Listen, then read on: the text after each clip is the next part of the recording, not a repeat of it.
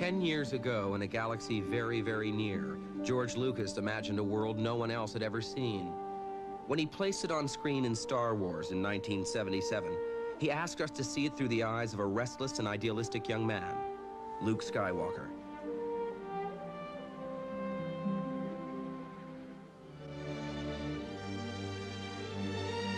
Through three films, Luke would travel to the farthest reaches of his galaxy, seeking adventure and manhood and wisdom.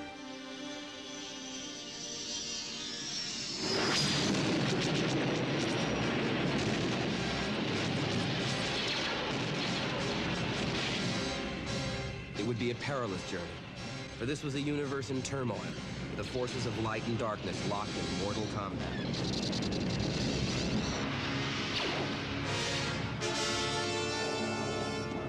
Dark Lord of the Sith, exemplar and symbol of all the evil Luke would ultimately have to confront, Darth Vader.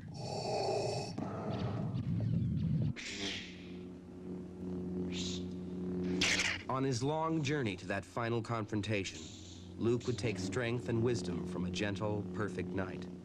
Remember, a Jedi can feel the Force flowing through him. And take knowledge from astounding sources. Do or do not.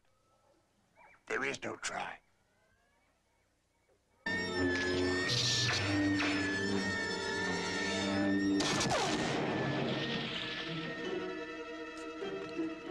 Along his way, he would discover that, like everyone else, he contained all the world's possibilities within himself.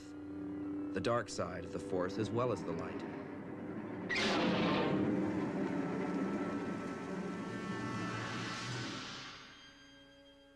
There was a bold and beautiful princess at the center of his universe.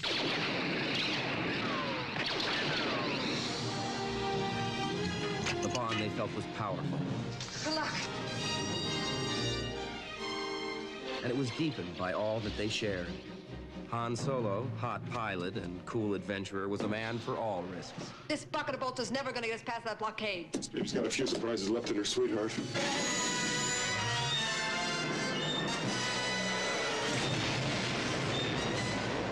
Possibility of successfully navigating an asteroid field is approximately 3,720 to 1. Never tell me the odds.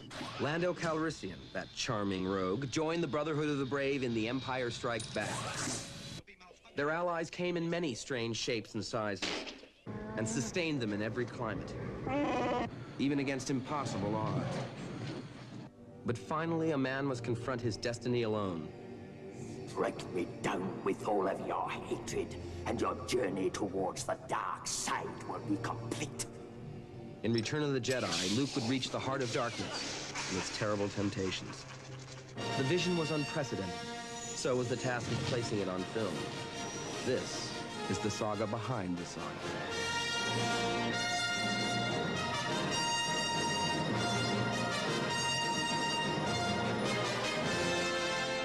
Tunisia, 1975.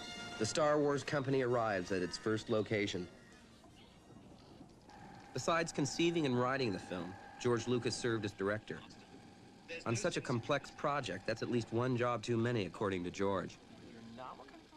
George co-wrote The Empire Strikes Back, oversaw pre- and post-production, and Irvin Kershner directed. Keep moving the camera. All the saga's directors. The newest member of a very exclusive club is Richard Marquand, who directed Jedi. No, the coach stayed. Coach stayed.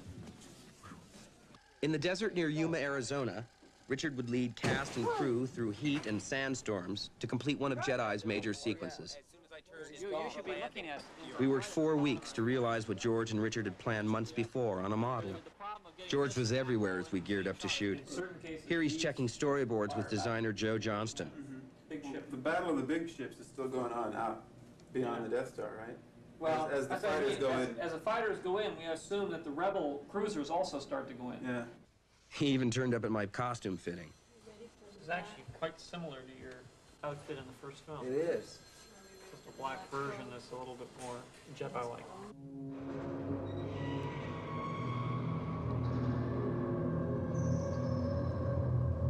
Jedi was more than a saga's climax. It offered George a chance few filmmakers get. The opportunity to improve on ideas, settings, and characters he had introduced in his earlier works.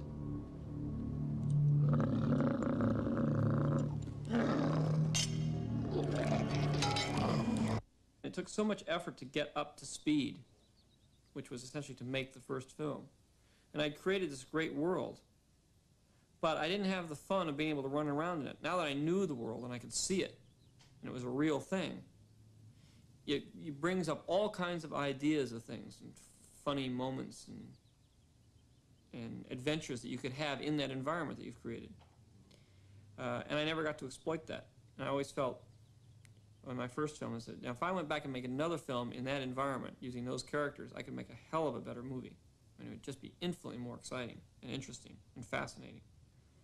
Because the first one was just trying to, you know, you're in a foreign environment, you just don't know what's going on. And it's the same for the author as it is for the audience.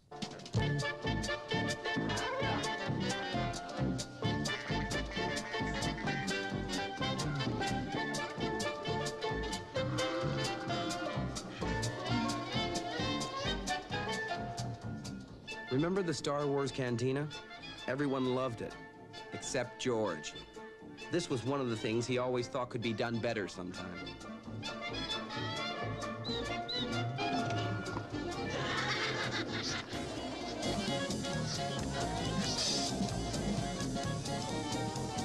Well, I'd, I'd always wanted to have the cantina be more than what it was. It was originally designed to be uh, lots of very exotic creatures, and when I shot it, I just didn't have the money, and uh, the makeup man was ill and couldn't finish the masks, and so I was always left with um, sort of a less articulated monsters and less effective scene than I thought was necessary.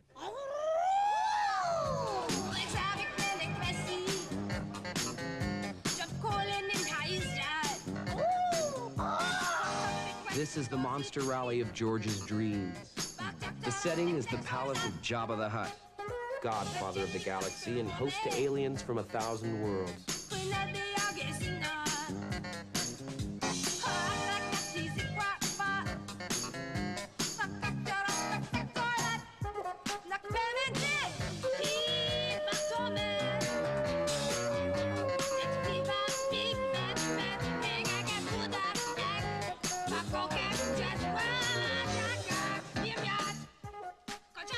Jabba's band was designed by Phil Tippett. He's head of the creature shop at Industrial Light and Magic.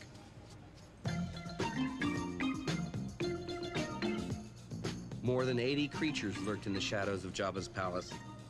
That's more monsters by far than have ever been assembled for a single movie. They all began to take shape like this, as small models called maquettes. Most of them were sculpted over and over again before they were approved. A team of 15 artists, aided by other craftsmen, worked 13 months, the last six of them on a day and night basis, to translate the maquettes into full-scale clay models of puppets and masks.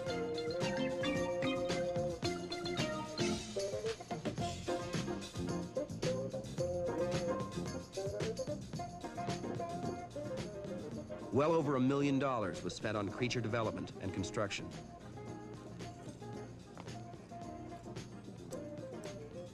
Molds were made from the clay models. From these, the monstrous faces and forms took shape in latex and rubber.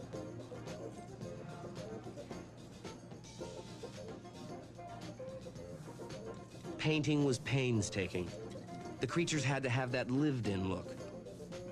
Maybe they were not of this Earth, but they had to seem as if they were of some Earth somewhere.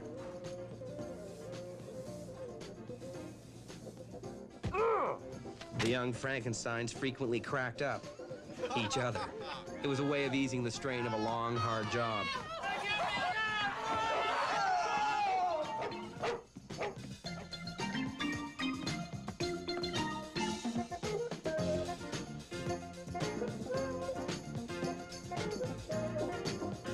Make way, make way, pig transit. Even when the masks and costumes were molded and painted, the work wasn't finished. For most of the featured creatures had to be able to express themselves. Some of these pig guards, for instance, would have a large range of facial movements available for their close shots. The muscles controlling expression were actually either wire cables or air tubes connected to a bellows out of camera range. Over the months of work, something of the personalities of their creators just naturally worked its way into the finished creatures.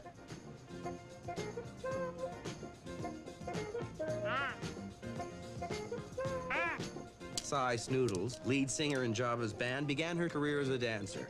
But Max Rebo was first and last a keyboard artist. George made frequent visits to check on the progress of the creatures as they were being developed. That's great. Yeah, it's, it's like a. Uh, Joel's way to open the yeah, website. it's like he's coming down to the. One of the more amusing things will be to have this, have a vocalist. How about Snooty? See, we could have her be the singer. Sure. Yeah, it'd be great. She's got such a tiny little mouth.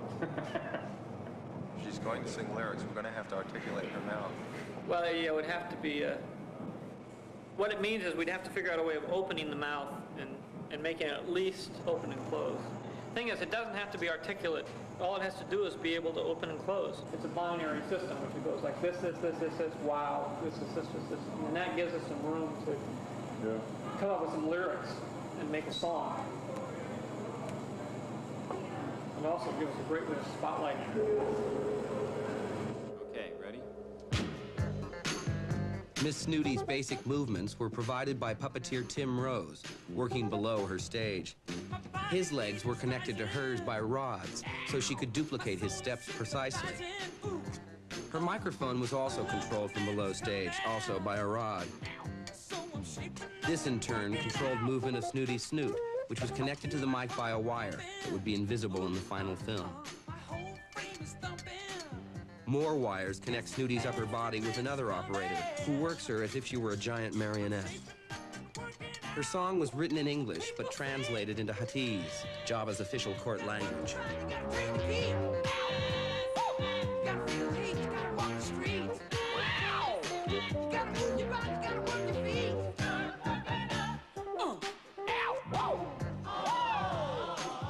Night in the creature shop turned into a farewell party.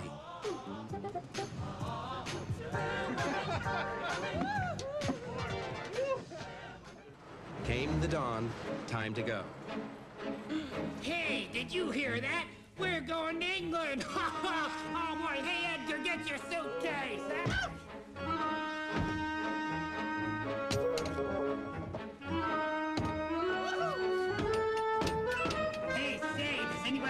What in-flight movie is? Oh, I hope it's Raiders.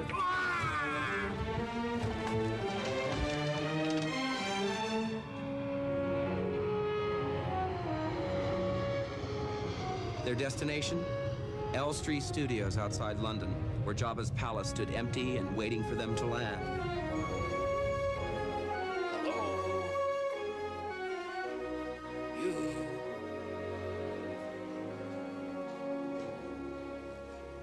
Everybody go to lunch? What's going on here? Hey. Hello in TV land. They were a bit disoriented at first. Even Salacious B. Crumb, Jabba's right-hand bird. Tim Rose spoke for him. Hey, Edgar. What'd you bring me to a place like this for? Look at all these freaks around here. It's really disgusting. That one over there, I don't even know what it is. Can't tell what's the head and what's the tail. And that Jabba guy, old Big J as we call him around here, well, he's the worst of all. Jabba was certainly the hardest of all to create. George said his first design looked too human. Second try, too snail-like. Number three was just right. Jabba was the largest, most complex puppet ever built for a movie. He was constructed the same way the smaller creatures were. His head and neck had to accommodate two main operators. They would be joined, for most shots, by other puppeteers located elsewhere in Jabba's body.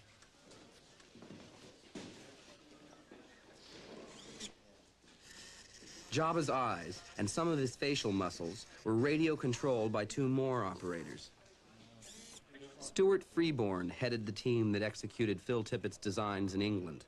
It took three months to build Jabba, and he cost close to half a million dollars. In the film Star Wars, uh, there was a scene with Jabba himself. Uh, and um, he was always intended to be this loathsome, large, monstrous creature. But it wasn't possible to incorporate my design of Jabba when we shot the scene with the actors on the set. Uh, so I came up with the idea of shooting the scene with a man, and eventually I would mat in a stop motion creature over the man. Solo! This is the scene George shot for Star Wars, but decided not to finish. Solo! Right here, Jabba. I've been waiting for you. Have you now? You didn't think I was gonna run, did you?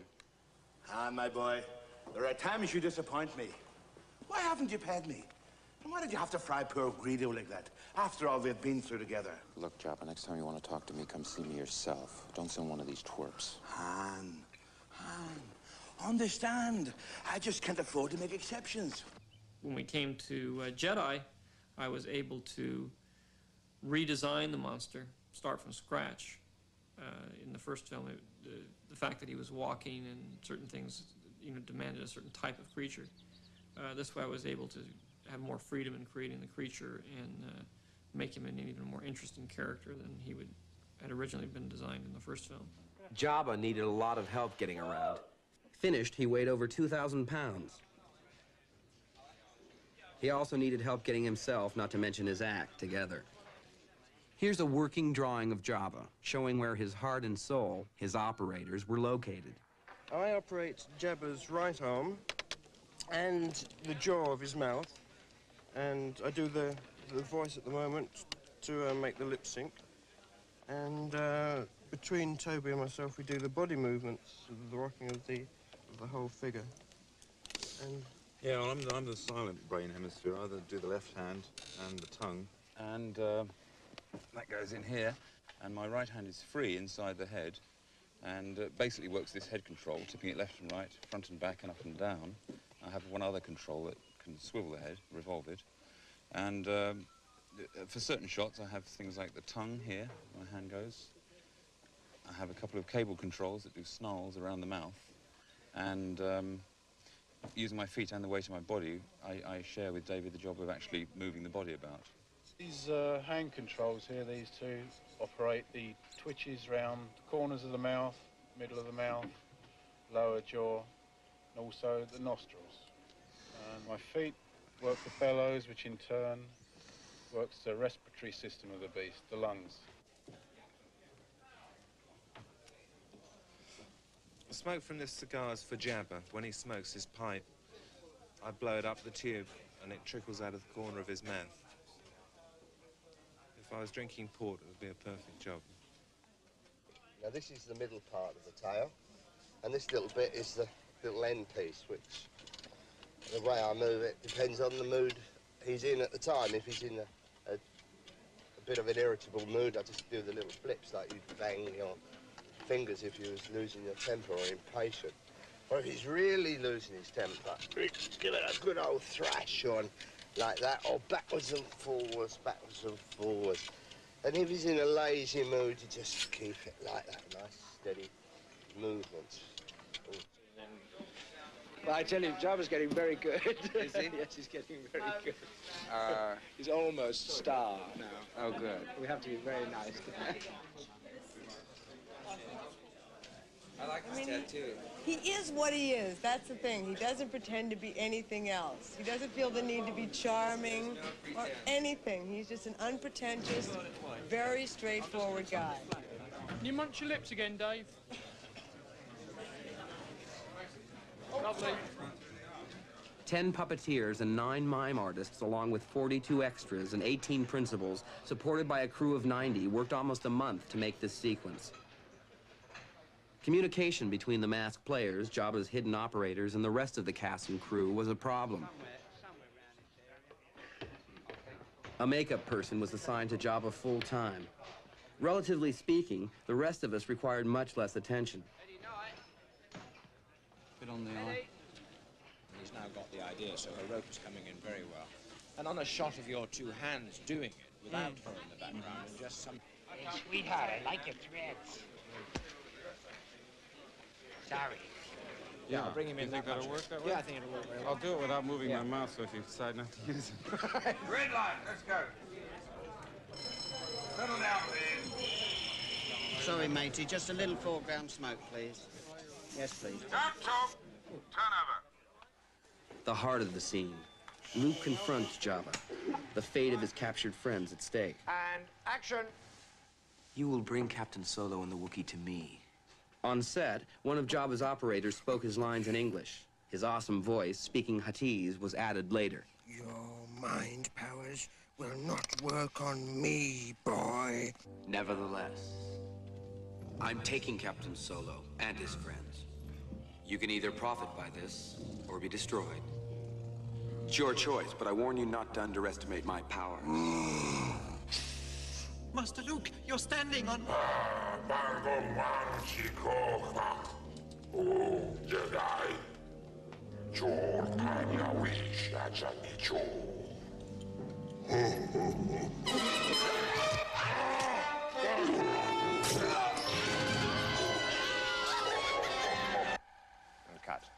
When Richard Marquand called cut, it was a relief, especially for the actors working under the mask. They were stifling. When there wasn't time to unmask, cool air was blown in. Okay, I think I'll survive for a while. No, no. No, the floor drops away. I just go into a tuck and roll, and the most the, the, the most dangerous part of the stunt is getting out of the way of the Gamorrean guard that falls on top of me because he weighs about 200 pounds. That's played by me.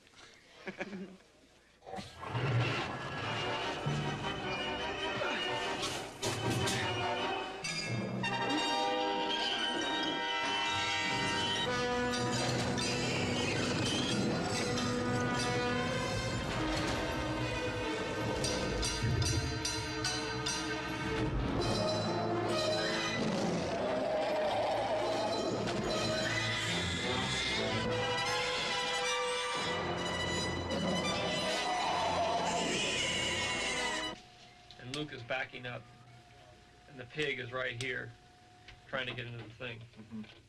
So George and his He's- staff study temporary shots in the editing room. roar, and he's maybe looking at Luke, and then he turns. This footage will guide the Big making of the final scene. Mm-hmm. All right, now here is the shot that has to be done with taste. Taking it like here, where we got the pig guard right in there, and the mouth just starts to come down on it, and then we cut away. What I want him to do is turn around and look at Luke, and then, as he's looking, you know, the, the hand is sort of dangling out down, and the, you know, and he's gob- he was chewing as he turns, and he, you know, slurps it up, gobbles it up, and the hand disappears down. Ooh, yeah, you know, like sort of- spaghetti. Yeah. And then starts to move forward. Art director Joe Johnston sketches the new ideas. From his sketches, Joe created a storyboard for Phil Tippett, who played the Rancor in this early incarnation. Yes, that's Phil underneath that rubber suit. Dennis Muren directed miniature special effects photography. His colleagues, Richard Edlund and Ken Ralston, did our space shots. The technique for animating a classic fairy tale situation, the dragon in his lair, is itself a classic. It was used in Japanese monster movies like Godzilla. The filmmakers hoped to improve it enough to use it in the final film, especially Phil, who found his role inspiring. Raise the gate. In the end, though, the Rancor's cave was reduced to snugger proportions. It was about 30 inches high. The Rancor himself was scaled down to an 18-inch puppet. Phil's hand animated his head. Rods moved the rest of his body. He was photographed in slow motion, so his movements would appear massive and menacing. The Rancor is a sleight of hand trick created by expert magicians for a medium that is literally quicker than the eye.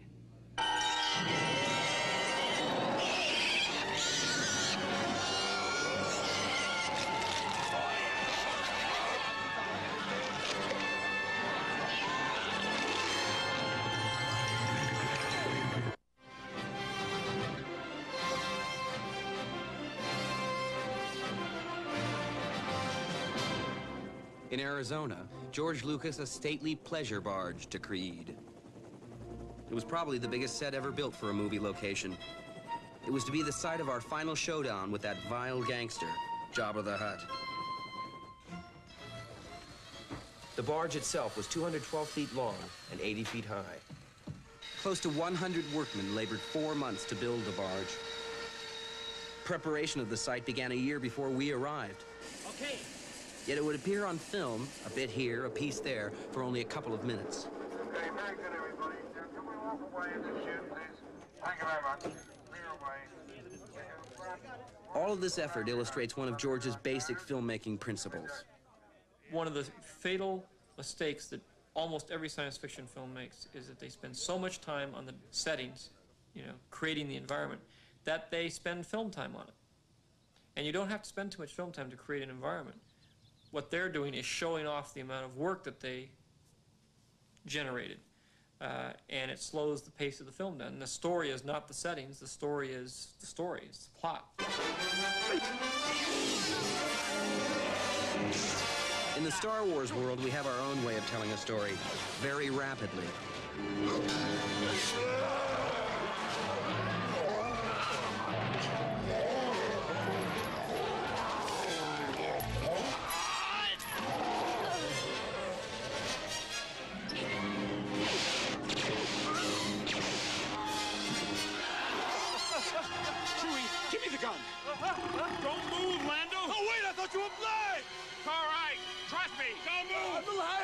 Little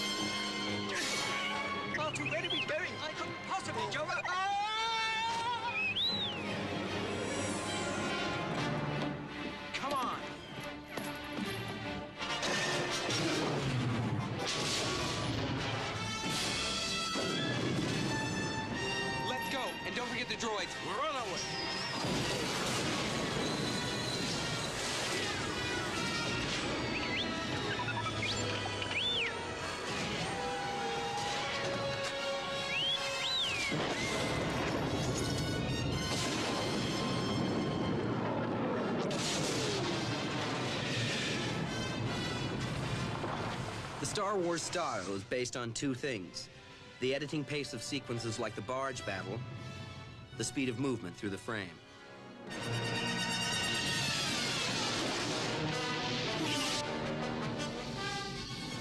Of course, we sometimes slow down to catch our breath and reflect on the often astonishing beauty of our imagined world. But not for long. Admiral, we're in position. All groups assume attack coordinates. In his mind, George was jumping to hyperspace long before he visualized the process for the rest of us.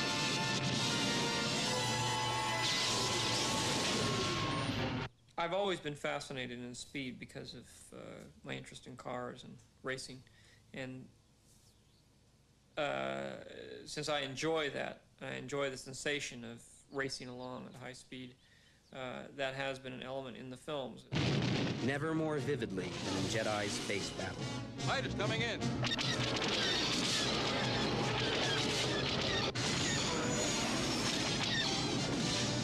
in the end, it's just each film is a new challenge in trying to explore the idea of uh, telling a story cinematically and giving less and less exposition and uh, having the the pace be such that you can have impressions of images thrown on top of each other without um, and, and, and get a whole new sense of a story or a, a feeling. An early and excellent example of this impressionistic style, Star Wars gunport sequence.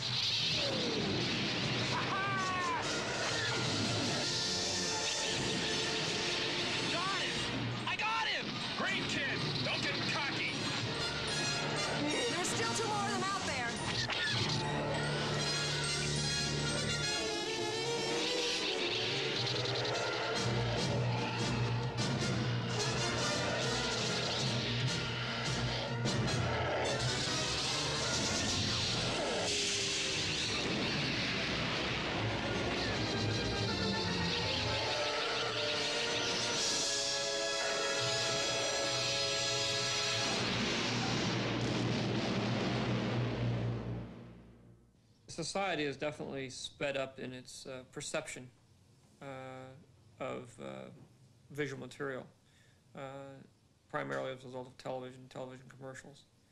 Uh, younger people are more and more able to discern and understand the visual language.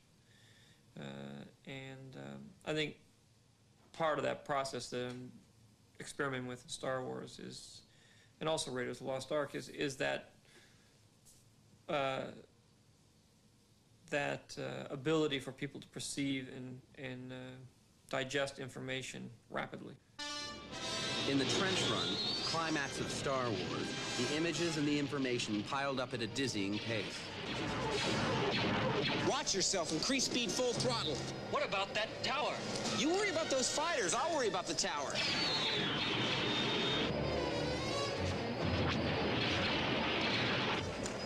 R2, that, that stabilizer's broken loose again. See if you can't lock it down.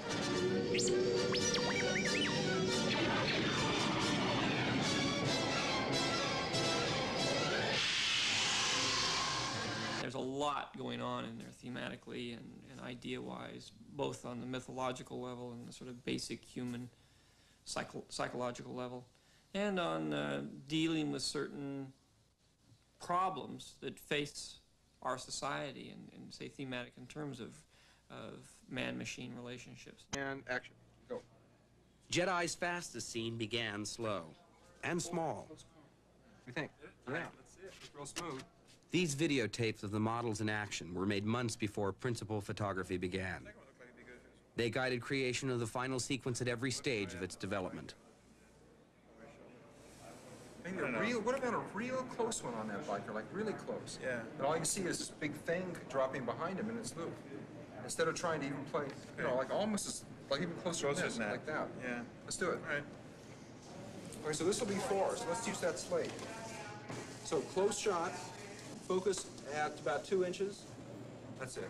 Dennis Muren and Joe Johnston aren't playing with toys. They're working with them to make moving storyboards for the speeder bike sequence.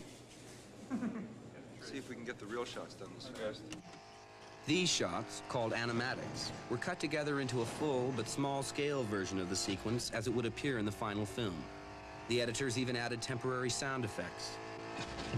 Next shot. Is number 80. 80. Now he won't stand up. There we go. Ah. Come on, Luke. Okay, ready? Yep. And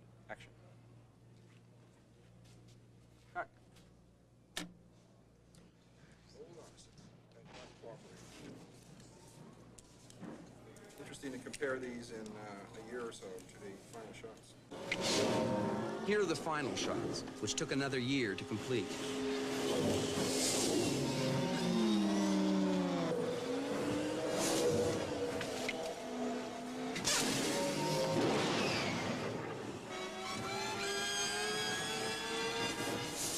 That process began in a redwood forest in Northern California.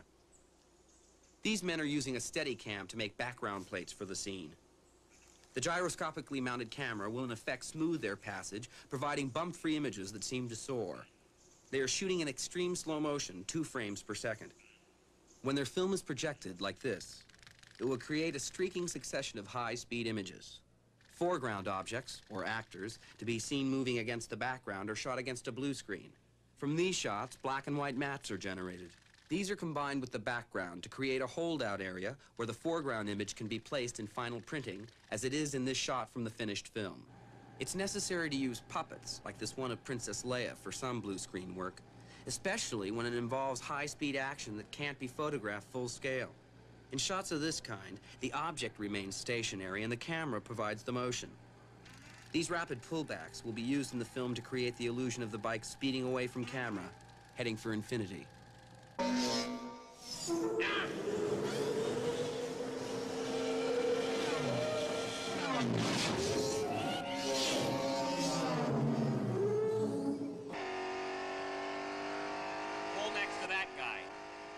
The editor spoke temporary dialogue for the animatic tapes, which were constantly consulted as the scene came together. As you can see, we duplicated the animatic sequence when we did this shot against the blue screen.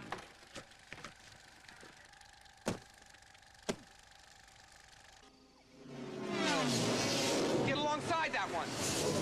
Here's how all the elements we've seen in the process of creation are finally brought together in the finished film.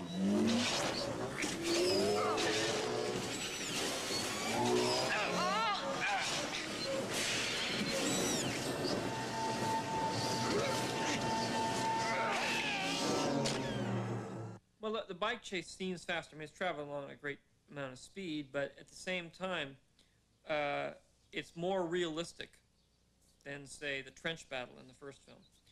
Uh, the trench battle is fairly clean. Uh, you're speeding along. It's a fairly abstract graphic that's coming at you. There are uh, laser bolts and things going around you, but it's uh, it takes place in outer space. It's in an environment that you don't understand. The what makes the speeder bike chase seem faster and work better is the fact that you're in a real forest, and there are trees that you could crash into. Uh, that element, just the, it's again, it's a it's a dramatic element. It's a plot element. It's the trench, only we've put some obstacles in there that you might hit. And once you do that, it becomes infinitely more dramatic.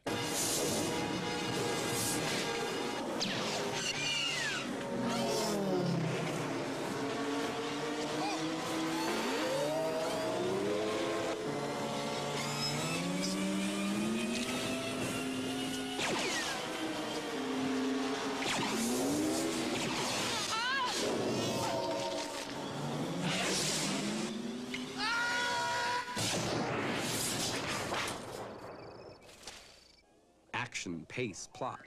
They're meaningless without great characters to motivate them. Star Wars has been rich in those from the beginning. How did we get into this mess? I really don't know how. We seem to be made to suffer. It's our lot in life. You're always surprised with characters. I mean, in film, it's even more dramatic than it is in uh, in writing because eventually you actually take a real person and stick them into that character, and that real person brings with him or her an enormous package of reality. I mean, 3PO is just a hunk of plastic, and without Tony Daniels in there, it just isn't anything at all. I had a different idea for the character originally. I wanted him to be more of a used car dealer, very slicko, very oily. But that character inhabited that costume so strongly because of what Tony had done that I couldn't change it. Where do you think you're going? Well, I'm not going that way. It's much too rocky. This way is much easier. What makes you think there are settlements over there? Don't get technical with me. What mission? What are you talking about? I've just about had enough of you. Go that way. You'll be malfunctioning within a day, you nearsighted scrap pile. And don't let me catch you following me, begging for help, because you won't get it. If it required an act of high imagination to create a lovable droid, think of what was involved in creating a new star for Empire. when I came to the second film to start working on uh, The Empire Strikes Back, um, a lot of the information and the training that takes place was originally designed to be done by Ben. But since I killed off Ben in the first film, uh, it left me with a lot of exposition, a lot of training scenes that I didn't have anybody to perform. So I had to come up with a new Jedi Master who was even more powerful than Ben. And I had to come up with somebody who would be interesting to watch. I am wondering, why are you here? I'm looking for someone. Looking? Found someone you have, I would say. Right. Help you again? Yes? Mm. I don't think so. I'm looking for a great warrior. Oh! Great warrior. Oh! Wars not make one great. I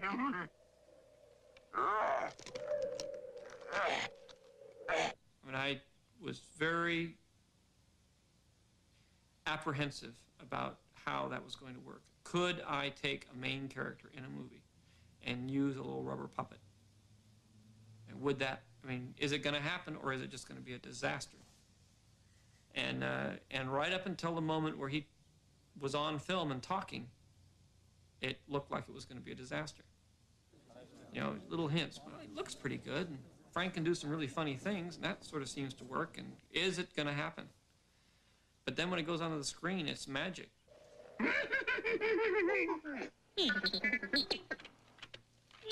Oh, you're making a mess. Hey, give me that. Mine, or I will help you not. I don't want your help. I want my lamp back. I'm gonna need it to get out of this slimy mud hole. Mud hole? Slimy? My home this is. What? Uh, R2, let him have it. Mine, mine, mine. R2! Move along, little fella. We got a lot of work to do. No, no, no. Stay and help you, I will. Find your friend. Hmm? I'm not looking for a friend. I'm looking for a Jedi Master. Jedi Master Yoda. You seek Yoda. You know him? Hmm. Take it to him, I will. Yes, yes. But now, let's eat. Come. Good food. Come.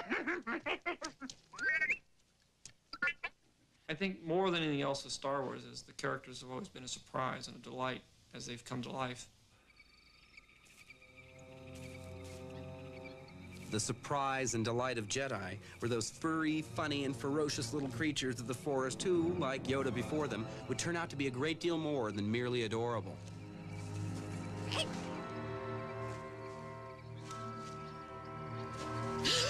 Cut it out! What none of us knew when we first met them was that they had the power to overthrow a mighty empire.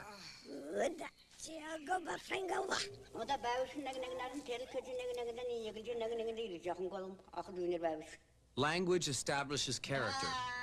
Composer John Williams takes a short course in Ewokese from Ben Burtt, who invented all the Star Wars dialects. The pitch is sort of midget-like, isn't it? Also, if the voice is going to be sped up a little bit or raised in pitch, the way these have been, if you start out with an, I say, an average human voice, mine or Jim Bloom, and you raise it in pitch, it tends to sound a little like Chip and Dale. But it's it's easier to get a foreign language and to have someone speak it and make it come across as a real language than just to make one up. Because when you make one up, it tends to sound like English, just rearranged Pig phonemes. line, Right. yeah. Tends to be a pig Latin. So what we've done in the past is really just take interesting words and use them.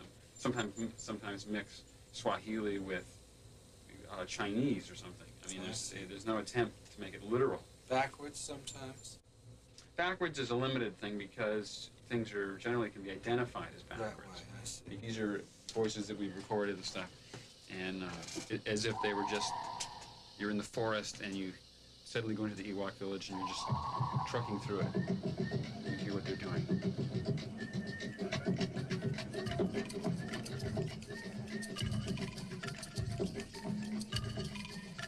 The Ewok environment was composed of this matte painting, a California forest, and this studio set in London.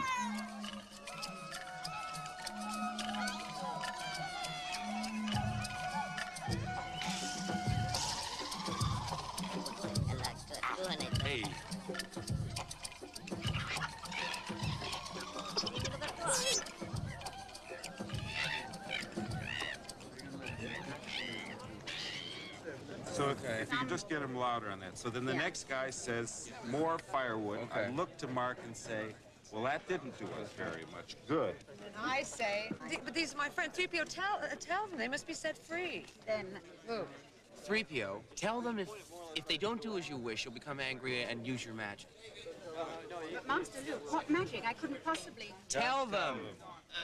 It's Do you not want it's not going to work as a joke unless we both say exactly the same thing. Okay, what do you and wanna say? exact same Tell pace. them or just- Tell them. Let's both do it carefully. Okay. Tell them. Oh, can I do it too? No. Okay. Right through to the end of the Oh, great. movie. Really. So you've put the Down. putting down to later. Yes. Next, actually. Next. And then the levitation, and then the undoing. Okay. Right, the actors step in, please. Shall we rehearsal, Bill? 25 feet 7. You sort of realize that these would be good allies. Uh-huh. So what you're going to do is make them allies. That's And so you're just going to sort of play along Right. and wait until It your is- moment, and then you're going to it's very telling that I let them take my weapons. Yeah. that- that it- there's a moment there where I could either strike out or or You could kill them all. relax. Well, you got a sense of the future. You got a Uh-huh. sense of the fact that it's these little funny teddy bears that could destroy the empire. Uh-huh. You know, it's always in a fairy tale. Uh-huh. It's Oh. always being nice to the little bunny rabbit on the side of the road that gives you the magic that makes you go and get Uh-huh. the princess from the evil witch. The Ewoks are a variation on a concept that was part of George's vision of Star Wars from the beginning. In the original screenplay, it was a society of Wookiees who who uh, uh, had this giant ground battle with the Empire at the end of the film, and also a space battle.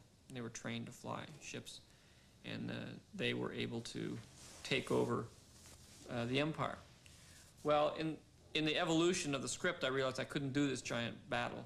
When I came to the third film, and the battle was back in again, and I could actually do the battle, uh, I couldn't use Wookiees because I established Chewbacca as being a relatively sophisticated creature. He fly spaceships, runs around. He's not, he's not the primitive that he was in the original screenplay.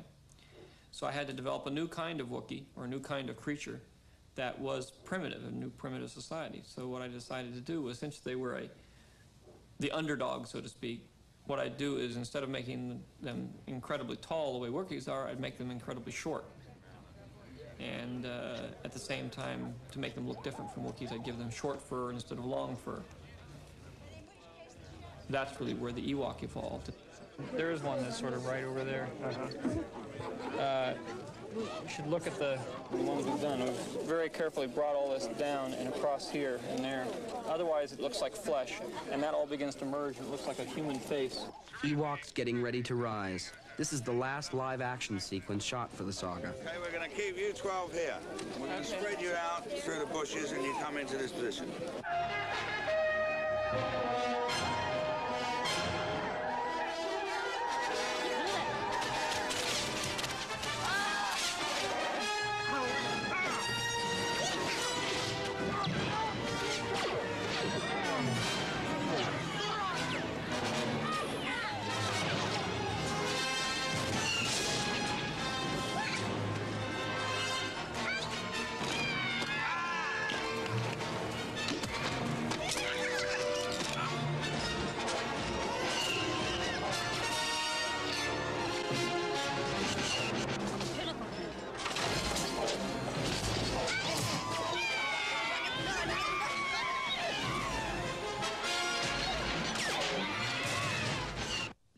Battle uh, was one of the main um inspirations for the whole project when I first started Star Wars, and it evolved out of my interest in a project I'd been working on uh, at the time about the Vietnam War. And uh, one of the more fascinating aspects of that project was the human spirit, the human element, uh, being able to withstand an onslaught of of uh, uh, high technology, and and how the high technology had failed.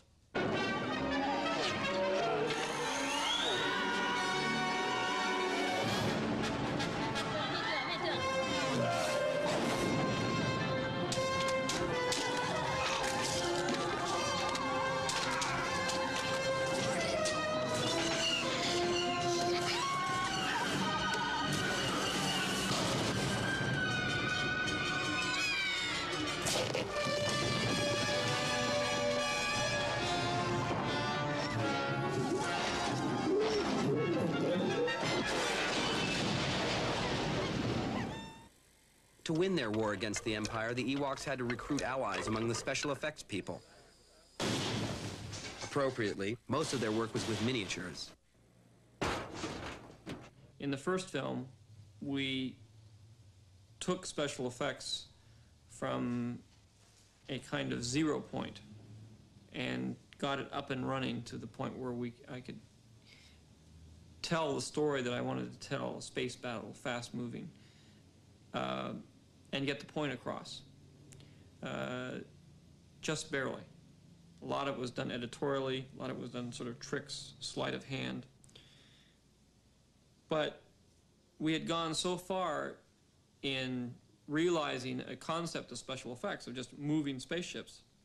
I mean, being able to pan with spaceships and be able to, to, to have a, a certain cinematic freedom in shooting those kinds of effects. Uh, that had a very powerful impact on the storytelling, a dramatic impact. It's just learning to use the medium more effectively. In the first film, we had maybe 20 colors to paint with, and this time we've had 40 colors to paint with. Well, it doesn't mean it's going to be a better painting by any stretch of the imagination, but it does give the artist more area to roam around in and to advance that art and the technology to the point where we can express ourselves in special effects much more uh, articulately.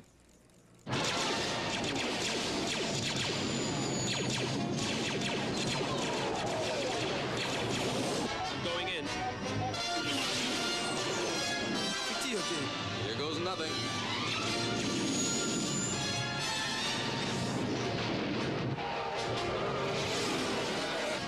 Now lock onto the strongest power source. It should be the power generator.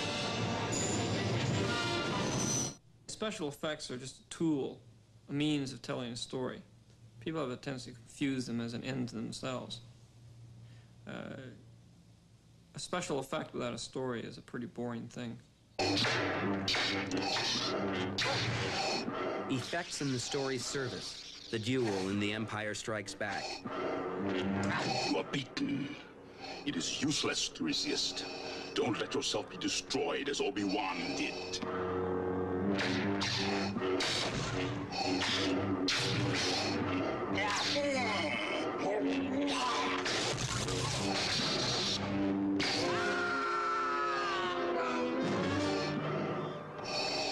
There is no escape. Don't make me destroy you. Obi-Wan never told you what happened to your father. He told me enough. He told me you killed him. No. I am your father. No.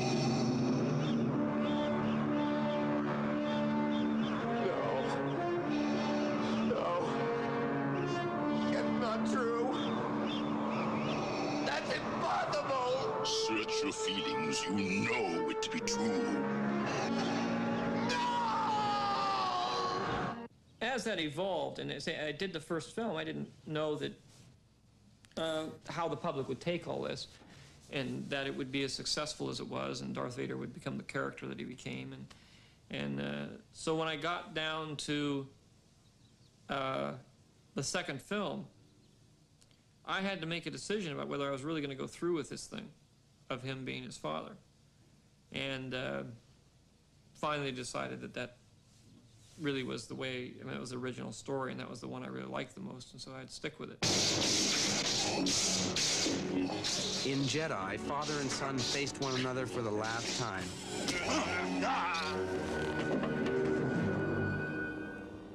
Uh, in the end, I had a problem with, in the fight between between Luke and his father, of why he makes the final turn. Luke makes the final turn to the bad side of the Force and tries to kill his father. Use your aggressive feelings, boy. Let the hate flow through you.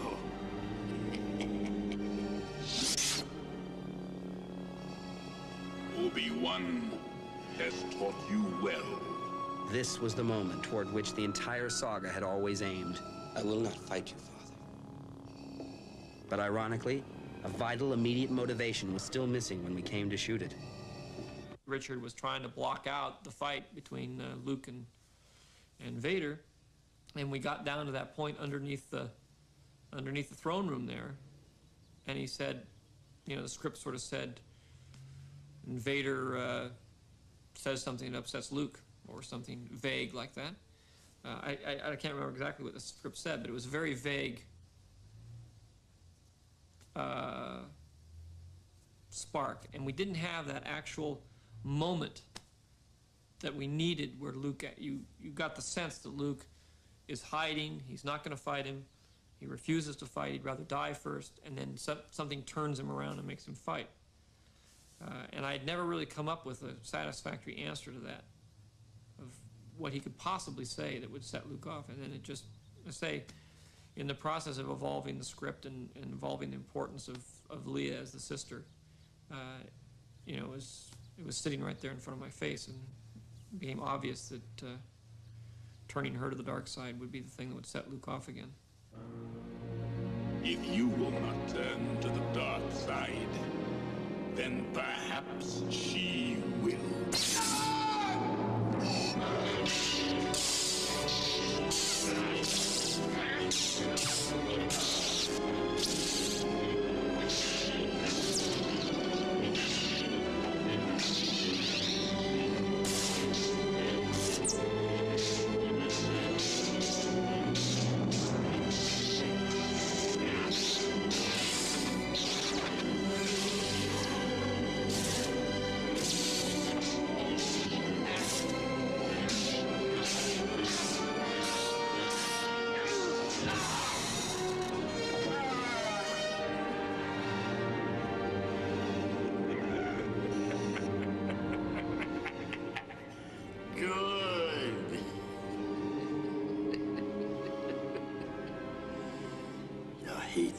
Has made you powerful.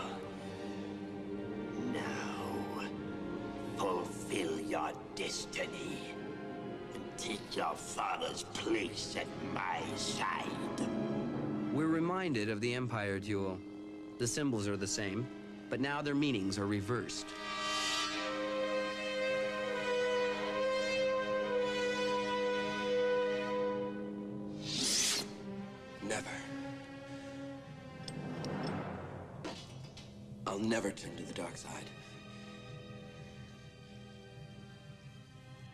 Failed, Your Highness. I am a Jedi, like my father before me. The drama is archetypal. Its roots go deep into the mythic past we all share. If you will not be turned, you will be destroyed.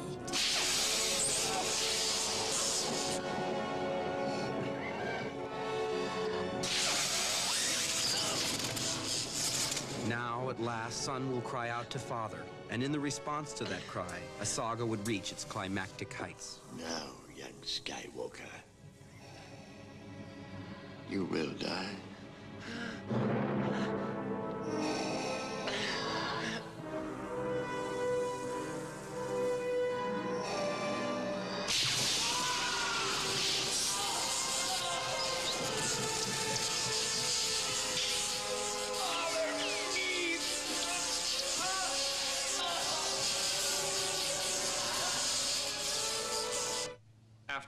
Vader has been this become been thrust into this huge persona that I never expected to have happen.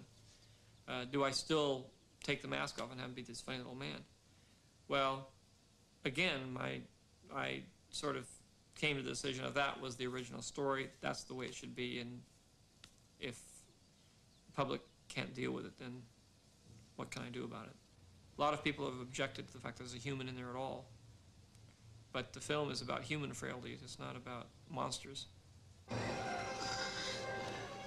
Luke, help me take this mask off. But you'll die. Nothing can stop that now. Just for once, let me look on you with my own eyes.